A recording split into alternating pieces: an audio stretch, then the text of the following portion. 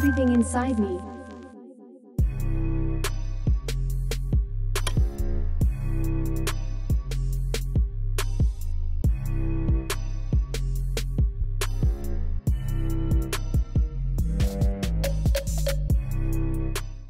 Hi everyone. How are you today?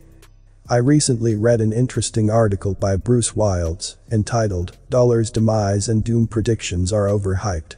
Maybe this will calm you down a bit. By the way, Bruce Wilds is a great writer, you can find him on his blog, brucewilds.blogspot.com. So, without further ado, let's get started.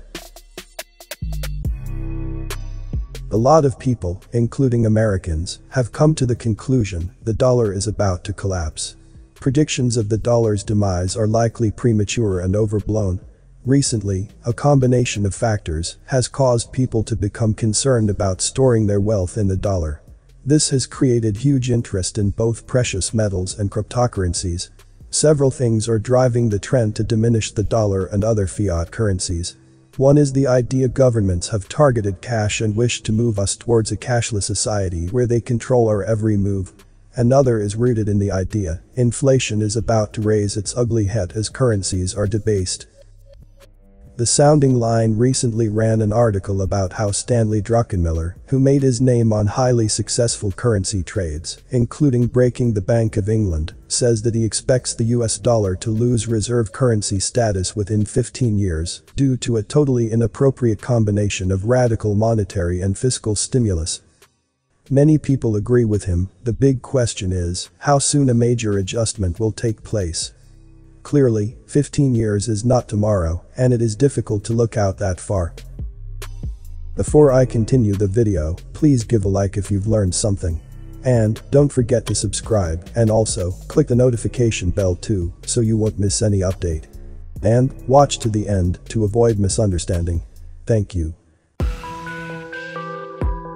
I contend that currencies have been trading in a hyper-manipulated state for several years, Fiat money tends to create a shelter from volatility. This is because once wealth is placed into this rather closed system, it tends to remain there.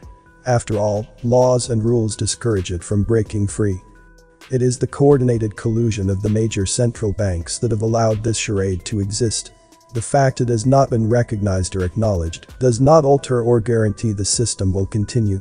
The failure or major repricing of any of the world's four major reserve currencies will destroy the myth that major currencies are immune to the fate that has haunted fiat money throughout history.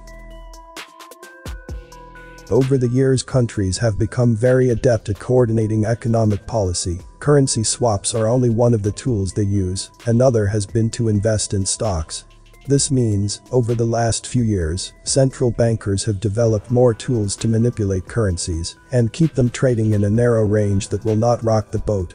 When the dollar began to soar back in late 2014, fear began to rise, and concerns grew about the stress it was causing in countries that owed a great deal of debt that would have to be paid back in dollars rather than their own currency. This allowed Fed Chairman Powell to pursue a course that weakened the dollar, and in doing so, the Fed propped up markets across the world. The view the dollar will rapidly decline in value is based on the view that when a nation granting a fiat currency is unable to control its budgets, its currency suffers. Like many Americans, I have railed against our growing debt and questioned whether it would destroy the dollar, however, when looking at the miserable alternative currencies before us, the dollar is without a doubt king. History shows, huge currency fluctuations tend to destabilize markets. The one thing the global economy doesn't need right now with all the uncertainty that is currently floating around is an unstable currency market. We must remember that in our modern financial system, capital can sneak and flow out of the country faster than its government can create new ways to bolster the currency. As far as the idea that China and its cohorts will succeed in destroying the dollar by reducing their holdings of US treasuries in order to support the yuan, their ability to carry out such a scheme is questionable. We must remember, the world currency market is a complicated place, full of paths that fall away or come back on themselves, and many of the tools used by markets are like a double-edged sword that cut both ways. China will find that if the dollar falls much, they will hear more calls to place duties and tariffs on their exports to America in an effort to reduce the trade deficit. Refrain from calling me Captain Obvious when declaring that currencies are trading in a false paradigm and investors should get ready for a rude awakening when currency values shift. A dam has been built to protect market stability, but pressure is building, and when it breaks, it will wreak major damage. Part of this is constructed upon the fallacy many investors have been given and accepted, the notion that a major currency cannot fail or collapse. This fallacy will only become more apparent as concern over the future of both the yen and the euro becomes more of an issue. Both these currencies have major problems going forward. While people point to the fact that behind the dollar America stands with a rapidly growing national debt, it is nothing compared to the issues Japan and the Eurozone face.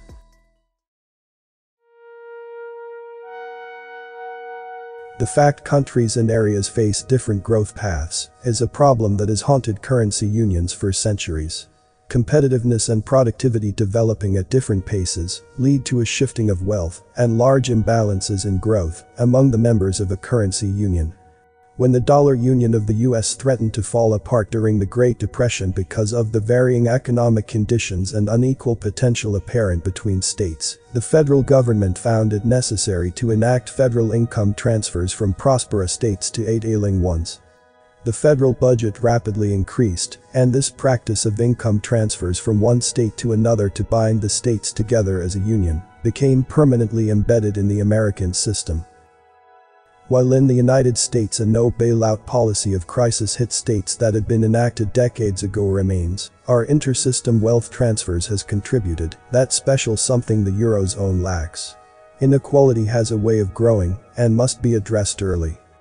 After a certain point, it becomes too late to implement a system that transfers wealth from the most prosperous to the most needy regions of the economy because some people feel cheated and others resentful. The bigger a debt problem and inequality is allowed to grow the more people and institutions suffer when they become the victims of a default. Greece has fallen and continues to suffer the consequences of this, while much bigger countries like Italy and Spain are teetering on the brink. During the last several years, the question of how to exit the Eurozone monetary union and the euro has become an important economic issue. Uncertainty and fear relating to its costs tend to discourage political leaders from taking the risk and decisive steps towards an exit. But if one or more sizable countries bolt from the shelter of the euro or the eurozone, the currency could quickly unravel. As stated earlier in this video, the other major fiat currencies stand as miserable alternatives to the dollar. A major cause of the eurozone problem is growing inequality among its members, this is exacerbated by the lack of system-wide bank protection, which causes money and wealth to flee the weaker countries and their failing banks. These problems give credence to the possibility that the euro is on its way to the dustbin. It could be argued that the reason the euro has fared so well recently is that investors have sold dollars and bought euros to buy assets in the EU because prices are so high in the US buying cheap assets in the EU does not translate into the idea America is rapidly falling apart or that the EU has suddenly resolved any of its many problems, it merely says American assets are way overvalued. Japan faces an entirely different problem, while its national debt is an issue for the central banks that issue both currencies. Japan's debt is massive, and the country faces a demographic crisis that leaves it forced to support a population comprised of citizens far too old to work. This is a reason to think the yen will fail at some point, and if they do, it is very likely that in our modern era, where wealth leaps across borders at the push of a button, its death will be fast and swift. For decades, Japan has benefited greatly from China's growth, but that may come to an end.